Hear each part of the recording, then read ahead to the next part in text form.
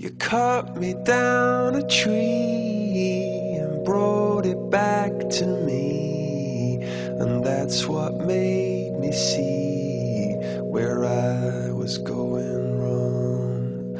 You put me on a shelf and kept me for yourself.